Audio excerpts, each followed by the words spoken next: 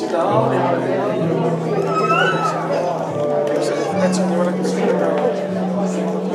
that's like,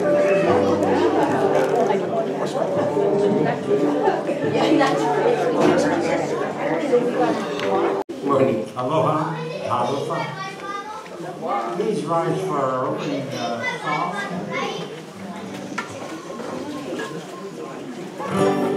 How wonderful you are, how wonderful you are.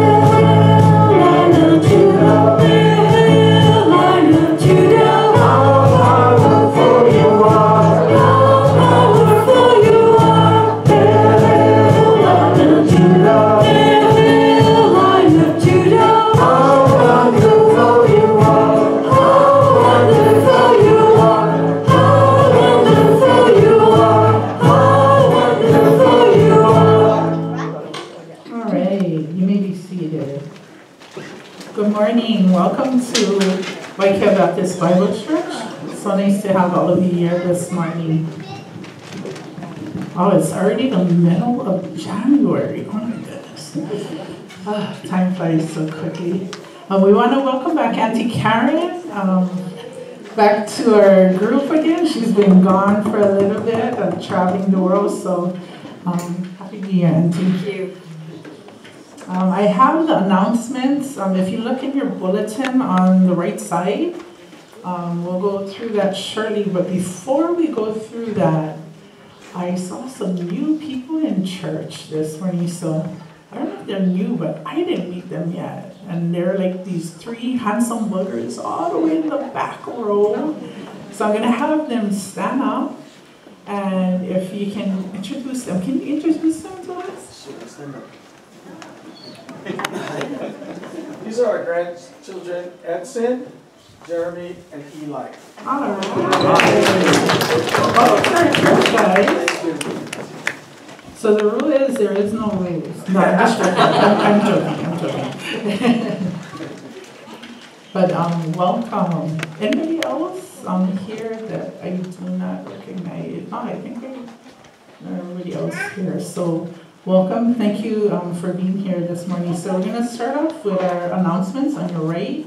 Um, our next general membership meeting for our WBBC is scheduled for after a worship service on the 28th, which is on Sunday. Um, we do have copies of the agenda and prior minutes that will be brought up for approval um, that are available in the back. Um, you can grab that um, if you need to. We also have the Friday prayer group um, asked for updates on the prayer request listing. So some of you may have asked um, for a prayer request. So if something has happened since that last request, um, just to kind of keep in touch with Auntie Susie so that our prayers are in line with um, what needs to be um, prayed for at this time. Um, we also have uh, copies of the nominating committee's memo, which is dated July 30th, 2023.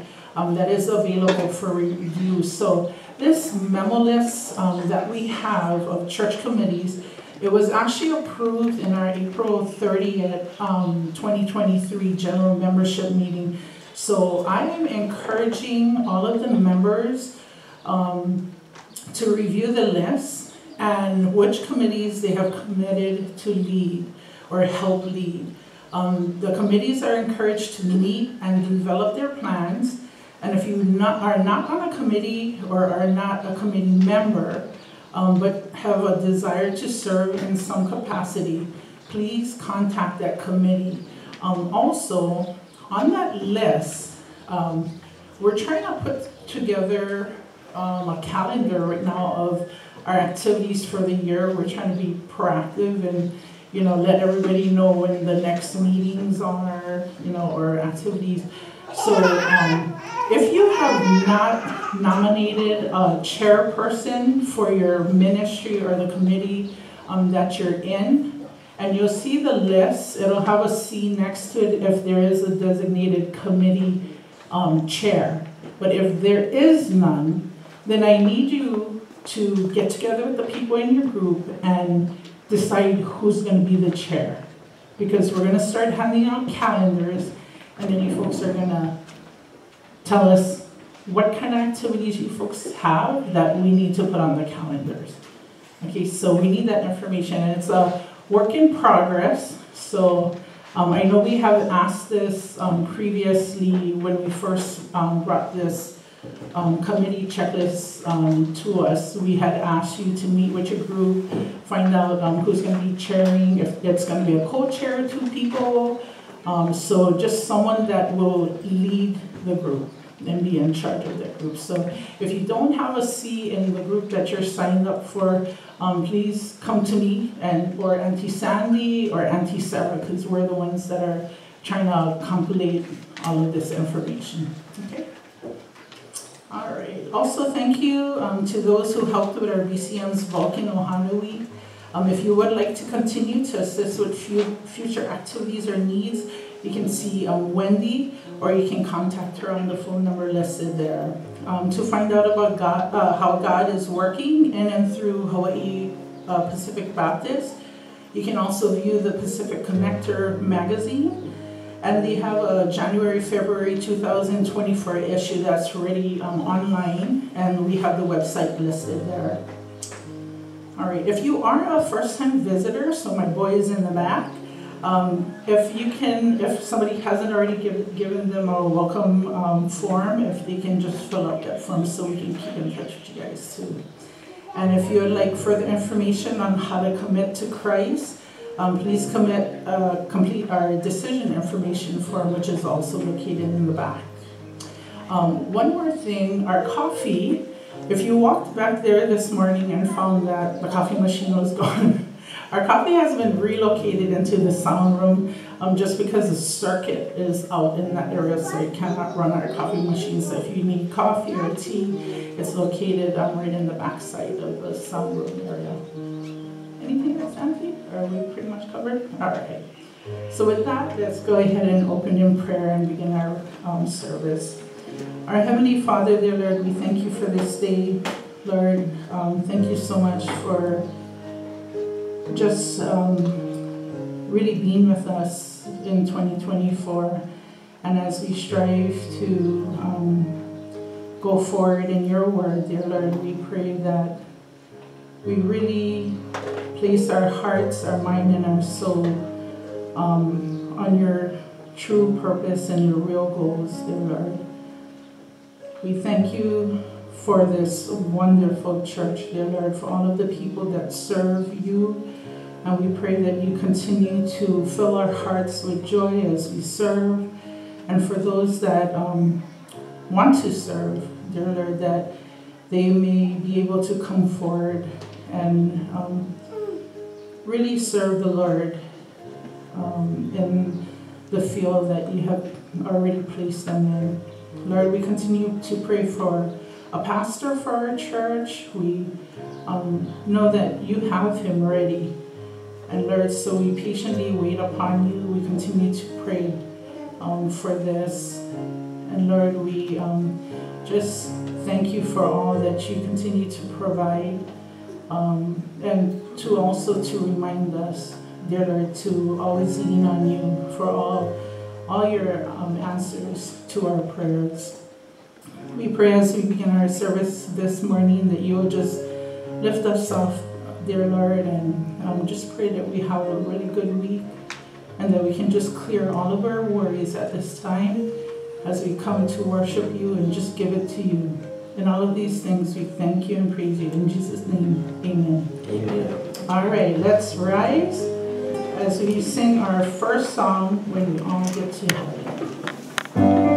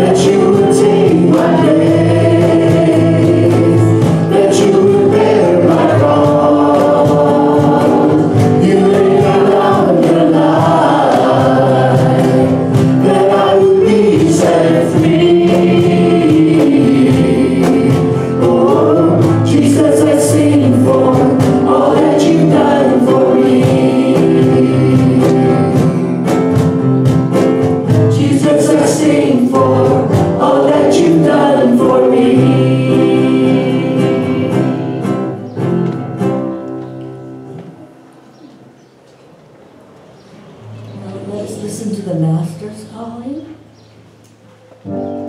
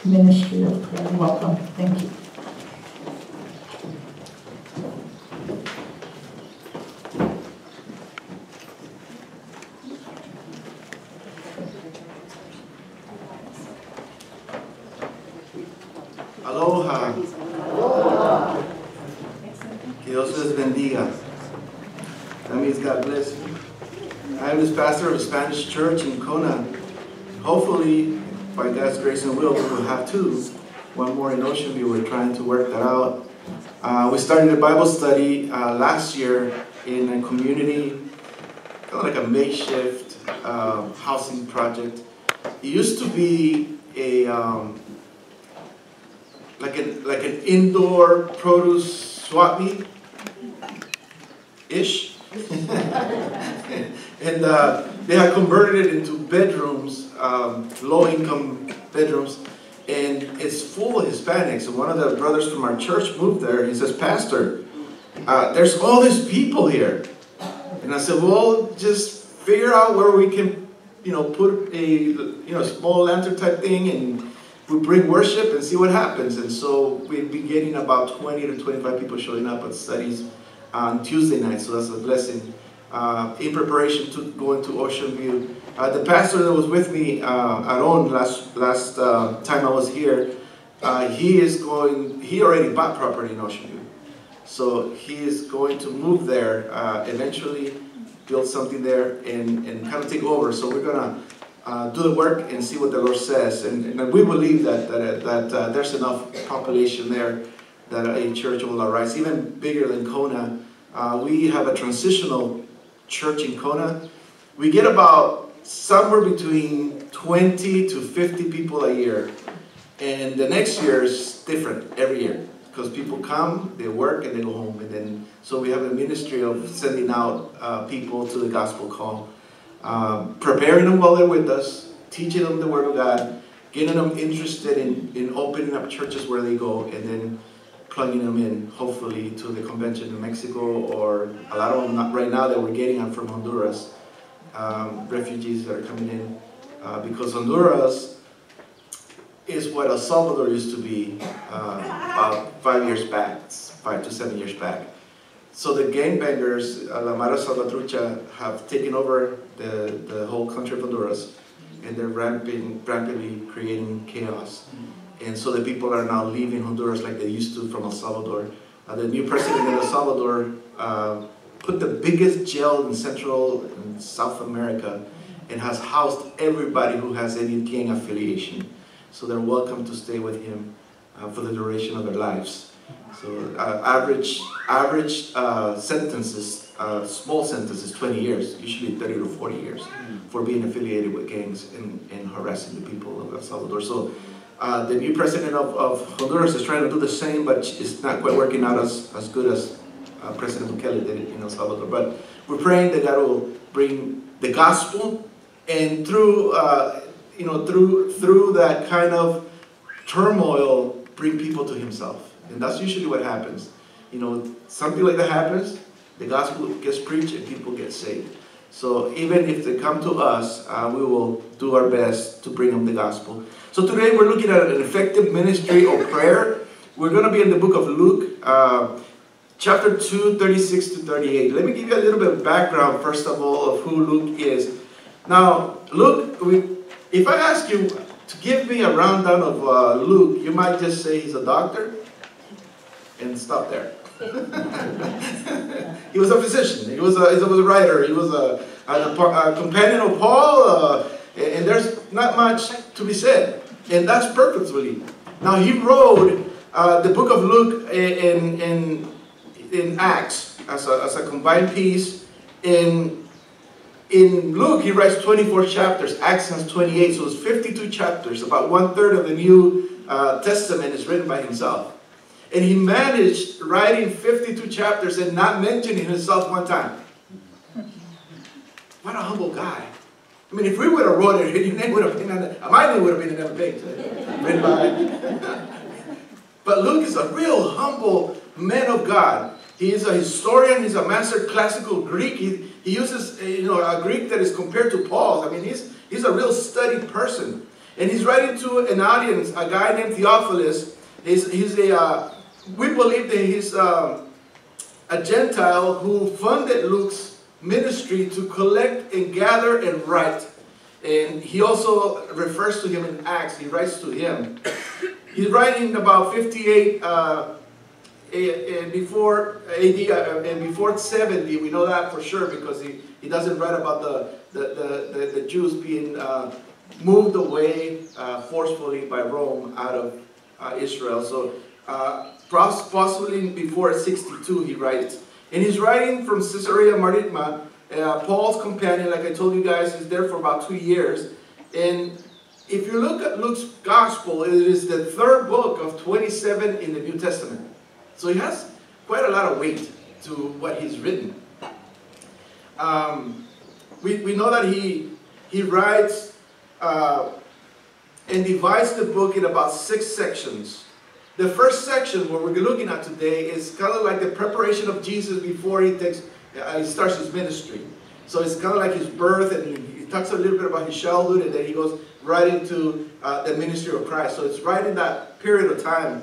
And the purpose of the book is, is, is as much as understanding um, the things accomplished for us through Christ. He's writing all about Jesus. That's, that's the purpose of the book. Is He's talking about Christ. He's talking about the Lord. And he is a writing from an eyewitness um, account. So he wasn't present, but he's going to the people who were there one-on-one with Christ. And he's interviewing them as a historian and gathering the facts and then putting it together in a way that is uh, from A through Z.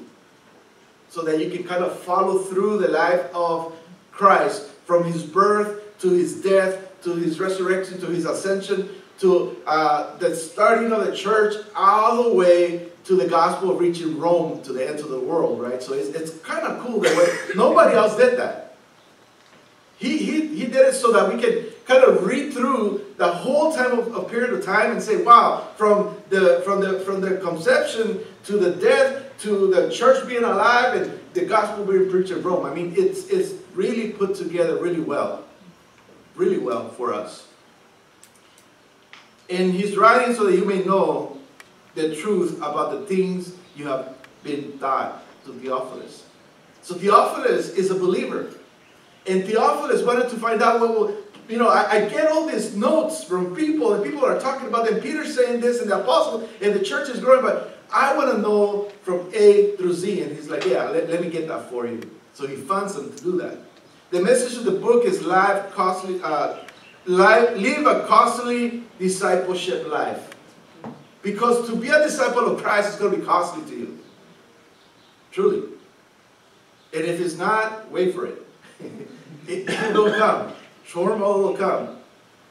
He's a historian, a, a narrative gospel writer. His emphasis of the book is the ministry of the Holy Spirit. He's really interested in the ministry. Of, he's, a, he's, a, he's a physician. So anything the Spirit of God does to heal somebody, he's like, I'm all over that. I want to know how he did that. I want to tell you that there was no hand, and then next thing you know, a hand was there, and, and there was no ability to move, and next thing you know, there's movement there, and there's no eyes, and it pops up, and it's, and it's crystal clear, 2020. I mean, that's what really moves him to write, and he, he loves all those little stories about healing and about the Spirit working. He points out the angels and uh, uh, to, to declare that the deity of Christ, the angels always come up and they're always talking about Jesus Christ as the Son of God, as, as God Himself, Emmanuel, God with us. And he's, uh, he's talking about the redemptive history of Israel. Uh, a lot of mention of Isaiah. So the book of Isaiah is all over his writings. Um, and, and, it's kind of cool because if you, you can spend years tracing back, oh, that's for myself, oh, that's for myself. And you can trace it back. And he talks about Jesus' journey to Jerusalem from Luke 9 to, uh, chap to chapter 18. How Christ was preparing himself to give his life for us on the cross. And Luke writes about that. He writes about the ministry of Christ to the children and to the women. He really, he really want to focus us that, that, that Christ is not just the savior of all the men, but he's like, no, no, listen. He loved to save the women. He loved the children. He wants to talk about that. He talks about the ministry to the Gentiles. How Christ did not, uh, did not just move towards Israel, that was his main priority, but he also expanded and invited the Gentiles to come to him. The title of the book might be uh, like this Jesus Christ, prophet of God and the Son of Man. And you may see it that way as we, as we look through it. Now, when you talk about prayer, it is probably the saddest thing that you come to a prayer meeting. Because it's the service that usually has the least amount of people. I'm not going to ask you to raise your hand if you come to prayer meeting. I'm just going to ask you to think about it. Right? Now, Christ, he's saying at the temple that the house of God should be known as a house of, and that's the last service we want to go to. We'll go to a potluck, we'll go to a funeral and all show up. Seriously. We go to a wedding, invite somebody to a prayer meeting, they're like, oh, yeah, you know, well, you know. And Christ says, listen, guys, my house, my place of worship, my place of, of, of bringing people together for the purpose of, of collectively building each other up through the ministry of the Spirit of God and through the work of God in you is for you to be praying. To be, to be talking to the Lord through the scripture and through praying. To, to, to, to love the Lord so much and trust Him so much that you bring every petition before Him and, and know that He will do according to His perfect will. My house should be known as a house of prayer. Well, not recently. not recently. And, and it's, that's why I'm talking to you guys about an effective ministry of prayer. And I don't know, I'm not talking about your church. I, I haven't been to your prayer meetings. So I'm, I'm guilty of one of those that didn't show up, right?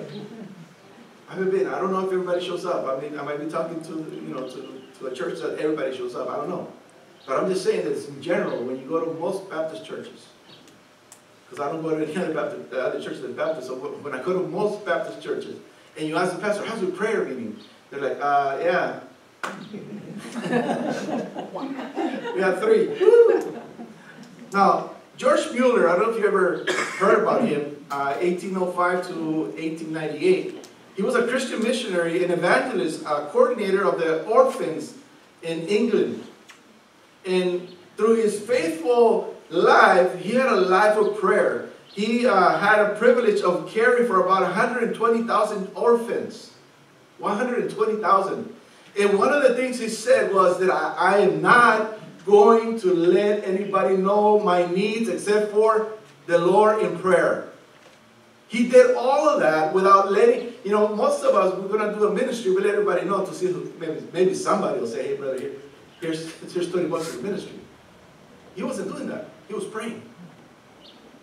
And in his journal, he records how God always provided, provided for the children and himself through answered prayer. Through answered prayer.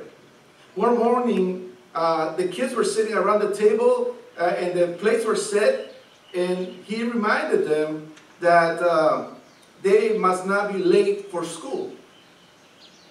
But there's no food in the pantry. There's not, they have plates. And they're sitting there and they pray for the food. And as he says amen, somebody knocks on the door. Well, he opens the door and there's the baker. And he tells them, you know, last night I just couldn't sleep. All night God that was encouraging me to, to, to, to, to, to bless you guys. So I got up early in the morning at 2 a.m. and baked all this bread for your children. He thanked them, blessed them, took the bread inside. He closes the door and somebody else knocks. It's the milkman. My, my wagon just broke down right in front of your place. It's full of milk. I haven't delivered a, a drop. But I need them emptied. Would you guys help me by emptying the milk and using it for me so it doesn't spoil? Talk about answered prayer. What did he say about prayer, Mueller? He said the temptation is to cease praying as though we had given up hope and to say it is useless. That's kind of the way we treat prayer sometimes.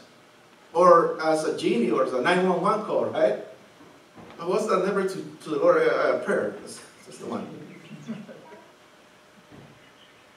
And as long as, as, as we pray, God acts in our life in a way that is miraculous. And you can actually give a testimony. See, prayer meetings should be full of people coming before you, letting you know how they pray. And God reacted to the prayer by bringing about change in you, changing the community, changing others, and how He presented Himself to be alive in you through prayer. Having no prayer life, it means that the Spirit of God is not doing nothing with you. And that you do not trust God. Trust my wallet, trust my friend, trust my dad, my mom. I don't trust God. It's the same thing.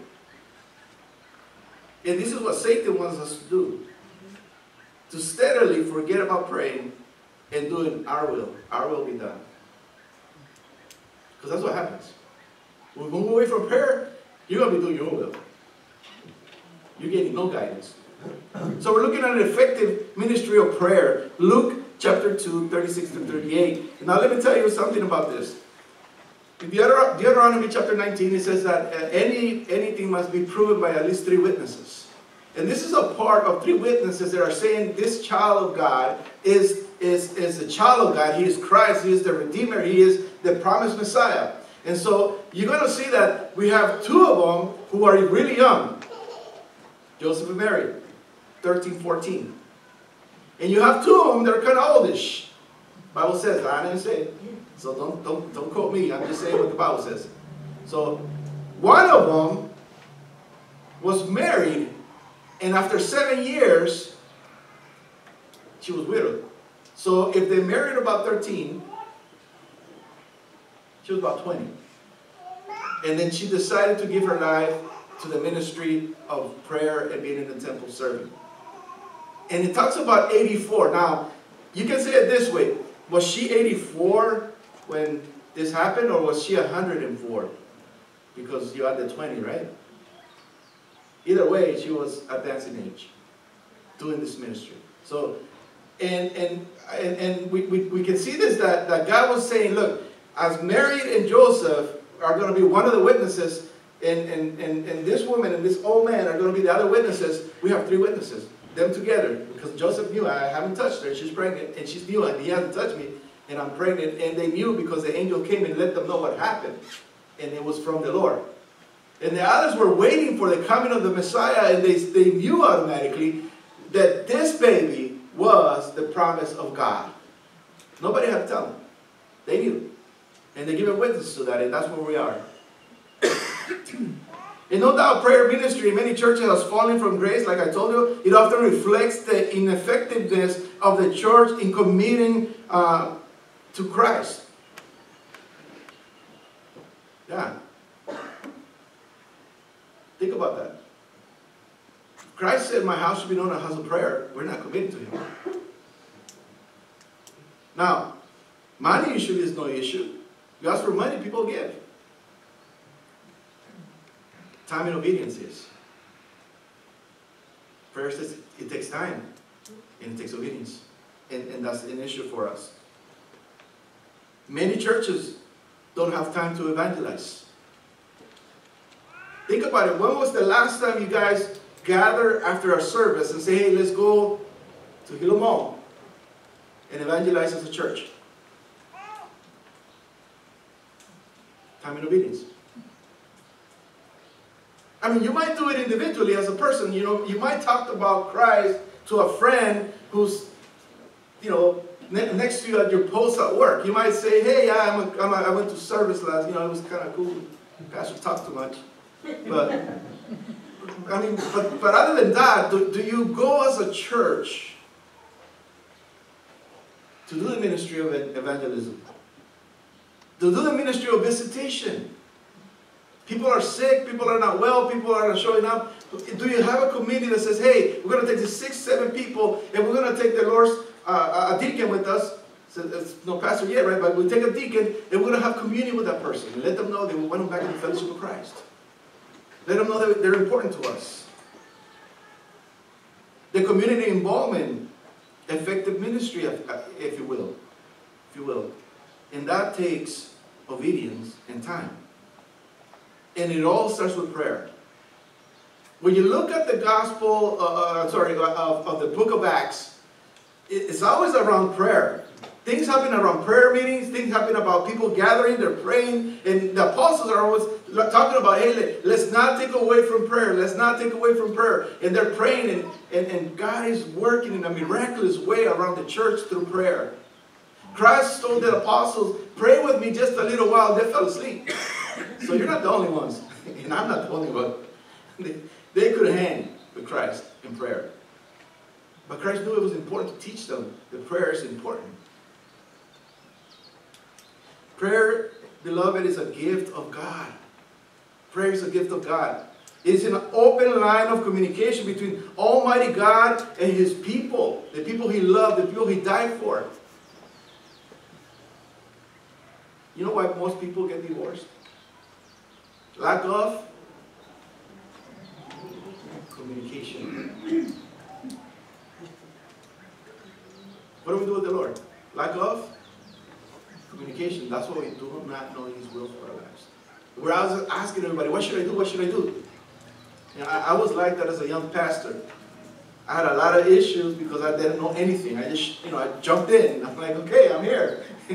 well, and sometimes I had issues that were bigger than me. I was 26 years old, and I had people older than me with issues that I'd never seen in my life. And I'm like, oh boy, I'm, I don't know. let, let me, uh, I'll, I'll get back to you. and I'll get on the phone. Dad, yes, son, I have a problem. This was supposed to be be- between me and the sister and the brother, but look, I need, I need to tell you because I need somebody's guidance.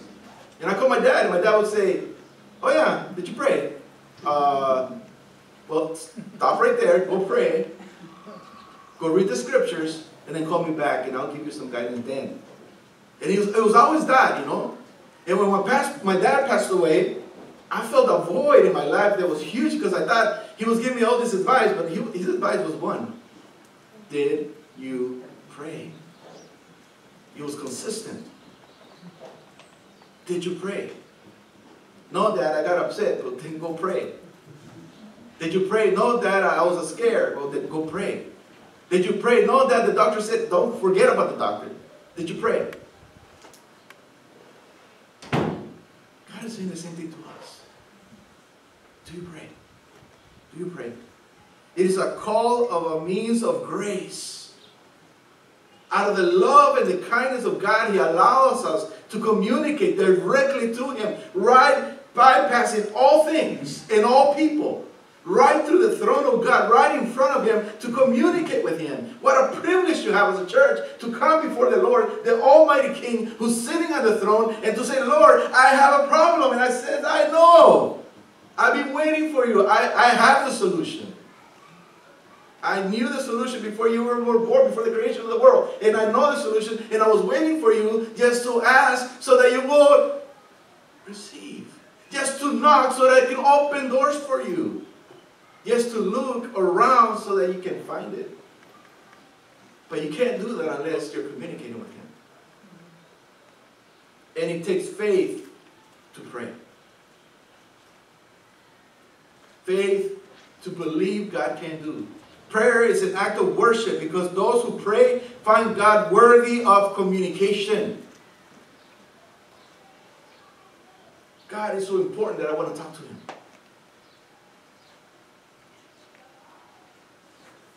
If we find God as worthy, then He is worthy. How do we know that? Well, we will pray more. You can't say God is worthy and not pray. You can't say I praise Him and not pray. You can't say I love Him and not talk to Him. Hello? I alone? right? I adore you. Did you talk to me? You know, I had a girlfriend like that in high school. Oh man, I loved her. I cared for her. I mean, I would die for her. But I hadn't talked to her once.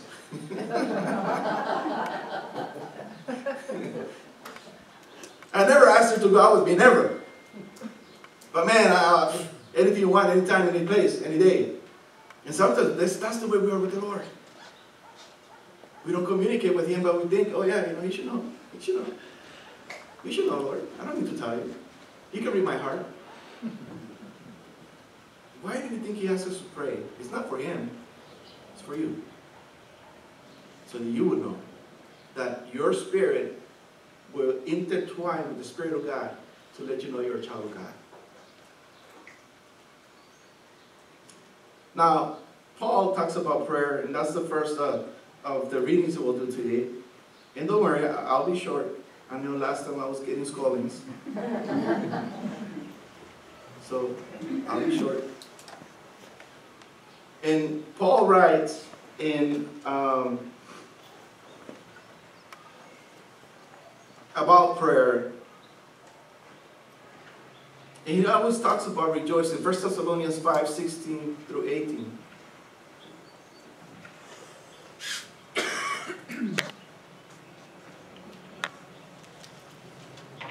And as Paul writes, he says to always rejoice. He says nothing should let you be down. If, even if it's something that is not something you expected, something you want, always rejoice. Have a joyful heart. Why? Because it can be worse. It can be worse. A, long time ago, it's not an appropriate song, but uh, on, on one of the radio stations in Oahu, they used to play it right before somebody went on. And it was this guy talking about, you know, he'll say something like, hey, you know, I got up this morning, stepped on a puddle, but it wasn't pee. And he says, I knew it was going to be a good day. And then he goes through a bunch of those, right? So sometimes, you know, we, we, we, we will step on something and it will hurt us, but at least it wasn't worse, right? God had grace. You get into a car accident, but you're alive, and it's just a car, it's just property. The house burns down, but everybody's living. I mean, thank the Lord, we're living. And things of that nature. But we always got to rejoice. Pray without ceasing. Give thanks in all circumstances, for this is the will of God. To, for you to be thankful, you know, and I, and I know that that's probably the most prayer that he hears is thank you, Lord, for my food, amen. Thank you, Lord, because I opened my eyes, amen. Thank you, Lord, because I'm in bed, amen. And, and that's the extent of some Christians' prayers. I asked uh, a young man in our church to come and pray for the church at the end of the service. Yeah, Pastor. He gets up there and thank you, Lord, for our food. That's all the prayer he knew. he knew no more. And actually he said, rub a dub dub, thank you, Lord, for this drug. and I, you know, followed him and said, thank you, uh, son. Yeah, we are going to eat the Word of God, And so prepare your meal. So prayer to the Lord is a continual burnt offering before Him. It, it is the, the smell of the church coming into the temple of God. How do you smell? Right? Think about that. It is the essence of the church of God coming before Him. How much do you pray? How full is your prayer meeting? Right? It, it makes sense, right? How alive are you in Christ? How vibrant is your church? How much do you pray? It is a, a recognized certain discourse between you and God. And, you know, vain repetition does not do it because it doesn't have a personal relationship with God. Those written prayers, a lot of people do in certain churches. You know, Holy Mother, it, it makes no sense to the Lord. It's like you, you're not connecting with me. You're, you're repeating something somebody else wrote. Connect with me. Talk to me like I am your friend because I am your friend. Talk to me like I am your dad because I am your dad. Talk to me like I am your Savior because I did save you. Talk to me like I love you because I love you so much that I gave my only son so that you would not perish but have everlasting life. Talk to me like you know me because you should if you are my child. Know me. A lot of us have kids and we don't know them and they don't know us. Lack of communication. God does not deal with us that way. He has an overflow of communication. He says that He gives so much that it comes out of you. It pours out of you.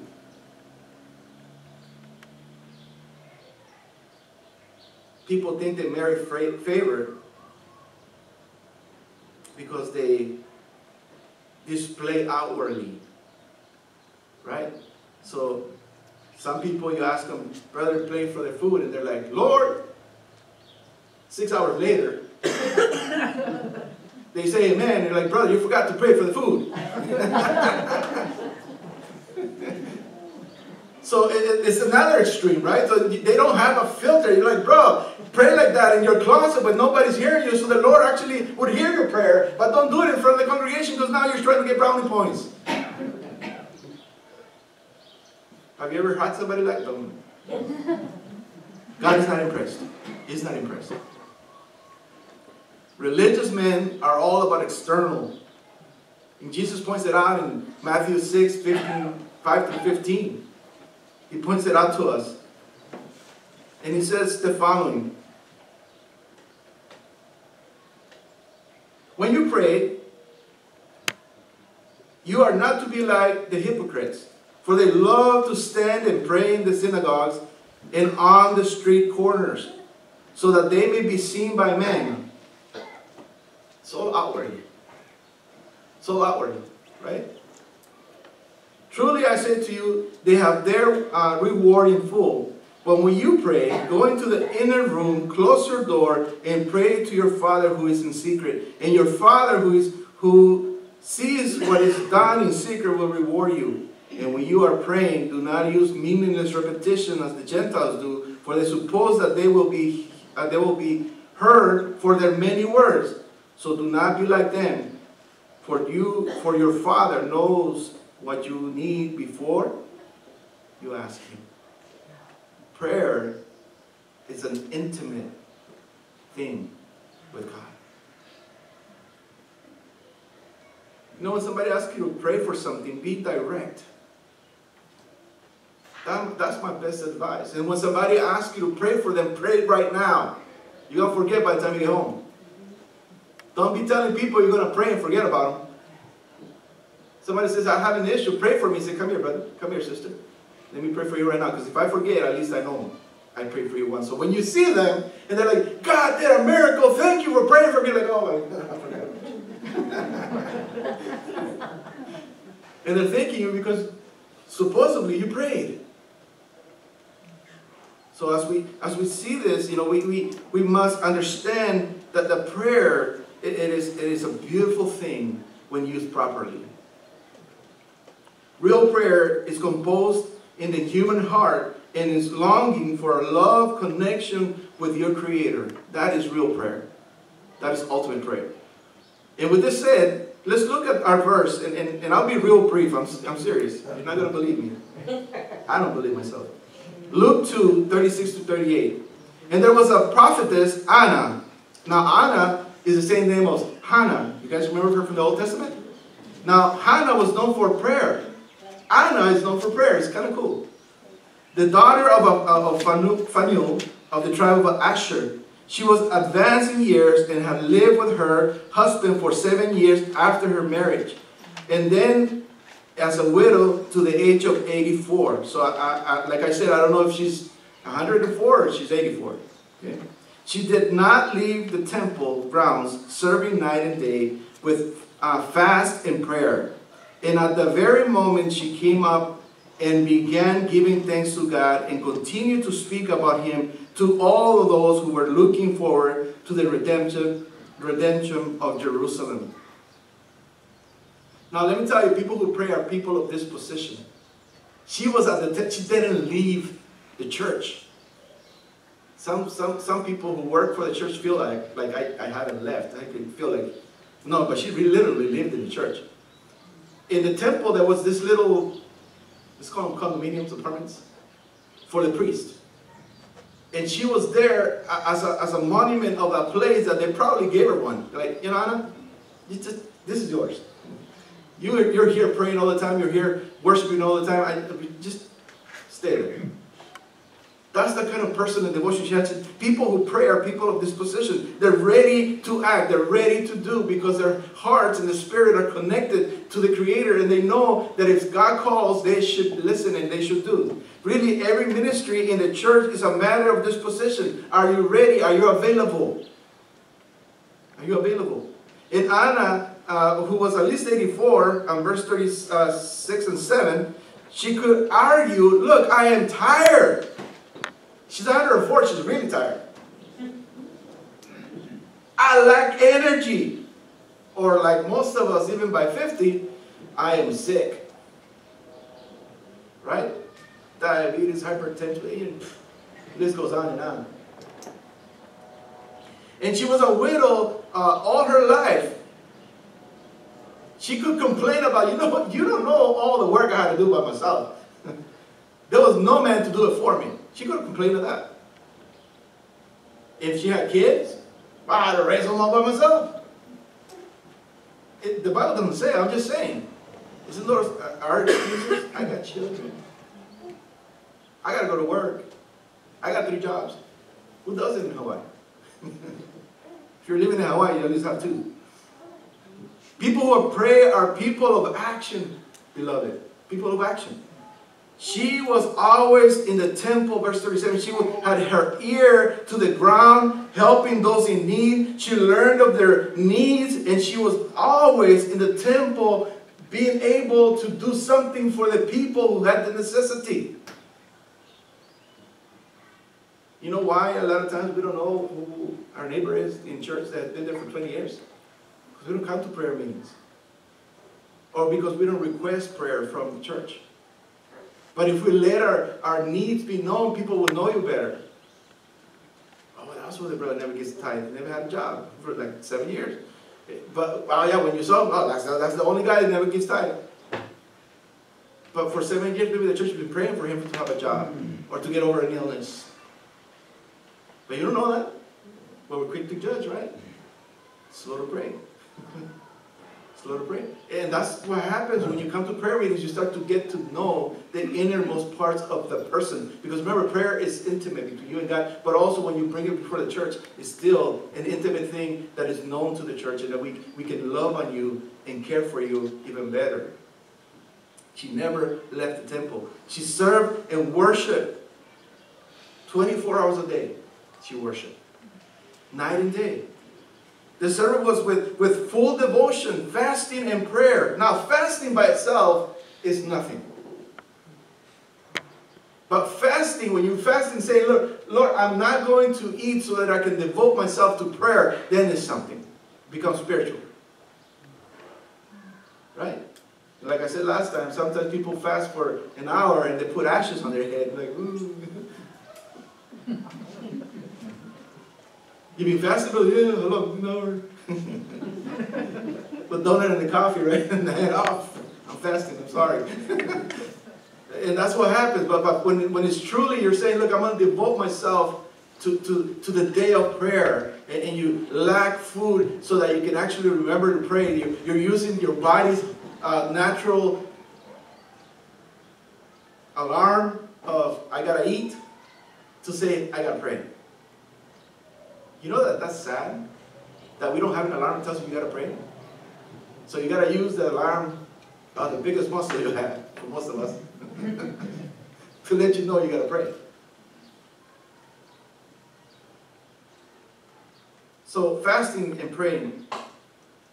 People who pray are devotional people. She was present with many uh, uh, with, with Mary and with Joseph, and, and she was there at the temple in verse 38. She participated in the time of thanksgiving to God. They were bringing Christ, they were going to give a thanksgiving that the Lord has come, and, and she was part of the few who participated in the worship of, of Christ and, and, and knowing that God had fulfilled his promise to the Jewish people. The Messiah was here. It's funny that, that, that the verse starts that uh, she, that, that uh, she got there, arrived there right on time, right? Because she was always there. And you think about a place where there's about a thousand people there, and she shows up right on time, right where Jesus is at. I mean, divine providence. That's why you pray. That's why you pray, so God directs your path. Now, Spurgeon, a 19th century English preacher and pastor, um, he had a bunch of new pastors go look at his church and ministry because he had about 5,000 people showing up at church. And he had no sound, no sound system, so no sound guy, brother. but everybody heard him clear, so he had a, he had a large voice. And these ministers uh, wanted to see that, you know, what's going on? What, how's your church? How, how is this big, big, a beautiful church? And after they saw the church, it's like, hey, let me take you to the boiler room. And they're like, no, no, no, we're good. We're good. We don't need to go to the boiler room, Pastor. No, no, no, you, you have to come and see the boiler room. No, Pastor, we don't want to. Come on, you're going to see the boiler room. He takes them down into the basement. And there's about a hundred people in their knees praying. And, and they're like, what's going on here? Well, this is the secret to my ministry. Things are happening above because people below are praying. Hello? God moves when his people pray. Spurgeon knew that, so he's like, I'm going to put a boiler room, I'm going to put my people to pray below, so when I'm preaching about the, the gospel would reach people, change people, change community, change the church, bring revival, and nothing's going to happen unless people are praying. So he knew that, and he put people to pray while he preached.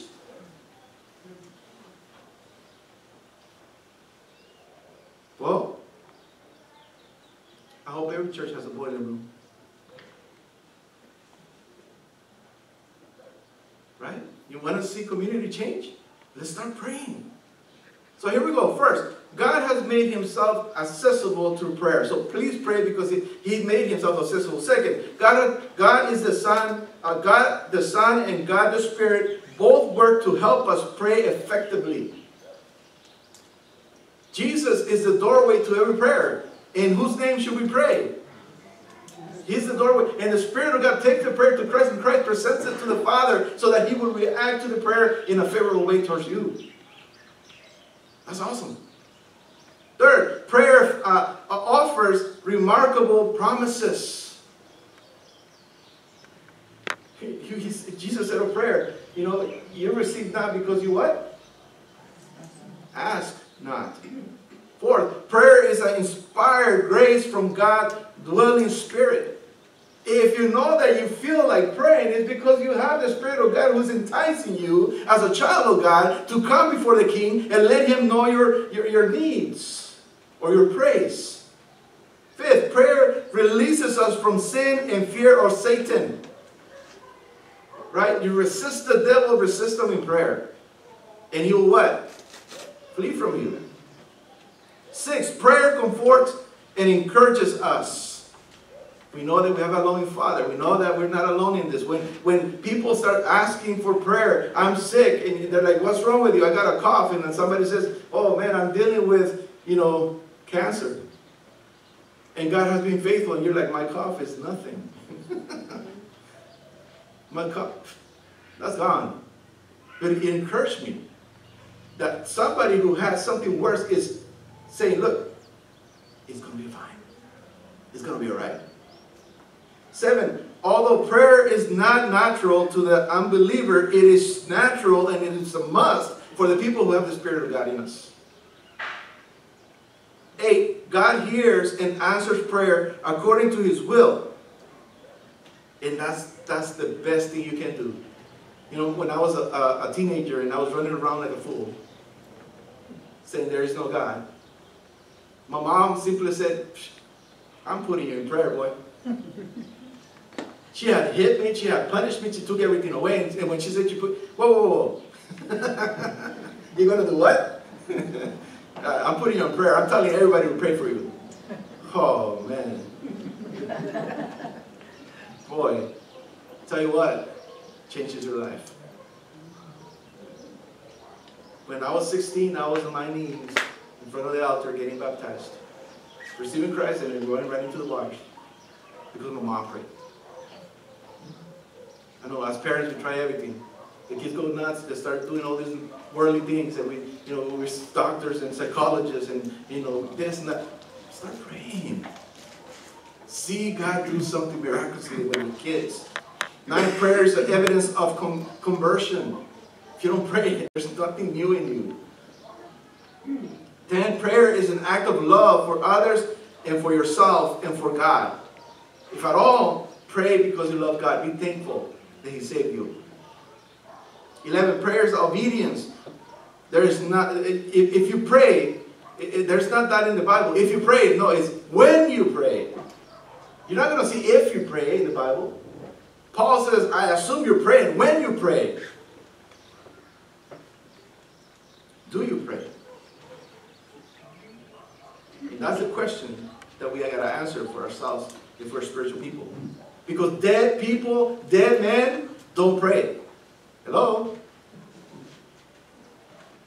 If you don't have a prayer, uh, let me, if you take anything away, dead men don't pray. Take that with you. Put it in your pocket. Next prayer meeting, this place better be private. Okay? Those made alive in Christ are alive. And those are the ones that pray. A believer who prays is, a, is assured of his own salvation. They know that they're, they're a child of God. God has made you a spiritual being, born of the Spirit, so that you can be and, and do spiritual things. And one of the spiritual things, and the, one of the most wonderful spiritual things you can do to show your love for God and others is to pray for yourself, for others, to God, trusting that He will do according to His perfect will. You clone your father. You better be talking to him. Do you pray in the name of Christ? Have you felt the power of the Spirit of God in your prayers? Then let your prayers be a test to determine whether you are really a child of God. You know what I do when I evangelize somebody? After I share scripture, Bible says faith comes by hearing, what? Hearing, right? I share scripture with them and I, know, simply I just take them to the scriptures and read it out loud, brother. And they read it out loud and they fumble through it. Okay, let's slow it down and read it again. They read it again. Okay, what does it mean to you? I'm not going to explain it to you. Why? Because salvation is not mine. Salvation is of the Lord. The Spirit of God has to be working, right? And they tell me, oh, it means this and that. Well, read it again, because you're like over there. Supposed to be this way. And they read it again and say, well, what does it say to you? They're just saying things that I know they're, you know, in, in, in Christianese. So I'm like, yeah, you're, you're on the full part. You're getting there. And we go through scriptures like that. And when they're done, and I ask them, what are you supposed to do according to scripture? Pray and ask for forgiveness. Well, why do you do that? I don't know how. Well, just tell God how you feel. Tell him what you just read and, and let him know that you want a change in your life. And this and they do the most, you know, if, if truly the Spirit of God is working, they'll pray better than you ever have, ever. Spirit take over. You're like, yeah, that's it. Your spirit knows the Spirit of God. You let them evangelize themselves. You just gotta work the plan, right? It's God's plan. As an Anglican bishop of London, uh, Riley once said, do not lose heaven for what you're asking. Oh. When I read that, I was like, yeah, you're right. Sometimes we're asking for the wrong thing. Call upon God in the name of Jesus and make your request known before Him and ask the Spirit of God to lead you, to guide you in prayer so that your prayer will be something that God wants to hear from your mouth and from your heart, not some nonsense from your brain. Call home. Let them know, Father, Spirit, Son, I am coming soon and I will see you and I will be with you always and forever. Let them know I'm coming home. Because you are you're a child of God. Call every day. Call through the day. God is listening to you. God will answer your call according to his perfect will for you. You know that the, the words that a pastor loves to hear from the congregation? Pastor, we're praying for you. That pastor feels loved. Prayer is disposition, action, and devotion. Do you pray? Let's pray. Father, we thank you for your word. Thank you for allowing us to see a picture of heaven, a picture of the Spirit that in us, a picture of Christ, a picture of the church, a, peop- a, people who are gathered through the loving grace of God, sending His Son, His Son that, uh, pouring out the blood to cleanse us of all sin, and the Spirit applying that blood to every individual so that we may know and we may know you as a Father. A Father who wants to have communication and communion with us. A Father who loves the fact that the children are thank, thankful for all you provide. While everybody prays, if, if you're not a person of prayer, but you want to change that in your life, would you stand?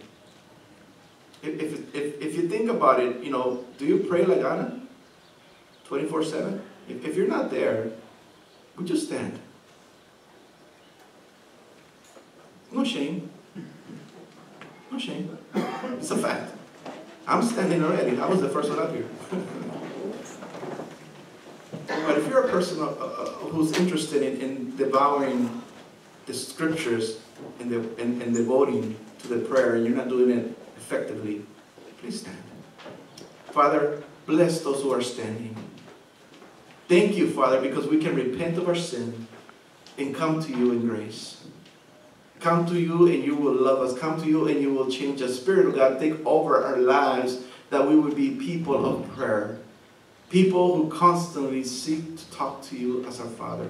People who constantly are communicating with you. People who constantly are believing you. People who constantly feel the Spirit of God growing us in righteousness in the image of Christ. Thank you for this church. Thank you for the pastor you will bring, Father. And I know that this church will be praying for him. In the name of Jesus Christ, amen. The Lord bless you guys. Thank you. Oh,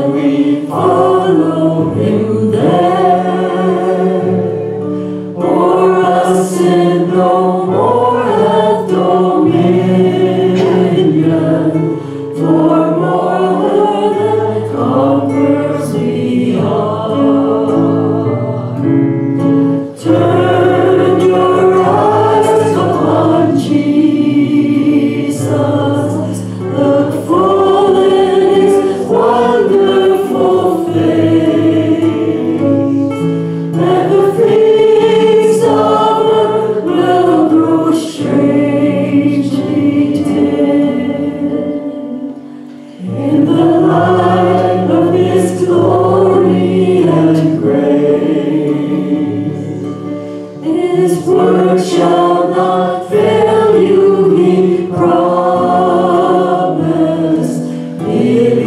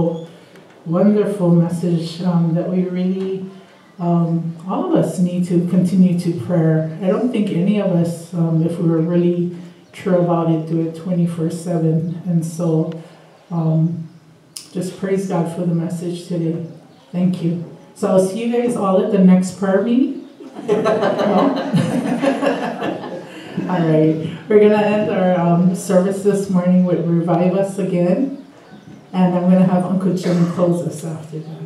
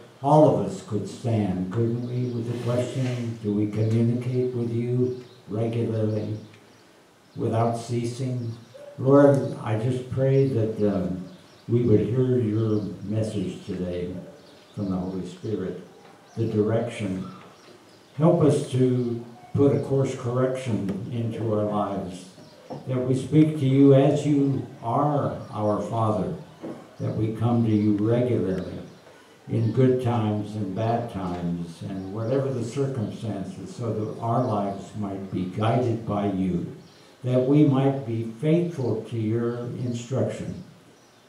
We pray and thank you, Lord, for being in our lives, for sending your Son, Jesus, for the gift of eternal life, the promise of the Holy Spirit, the forgiveness of sins. We thank you for those blessings and so much more. Be with us, Lord. Guide us. And we ask these things in the precious name of Jesus. And everyone says, Amen. Thank you for joining us this morning.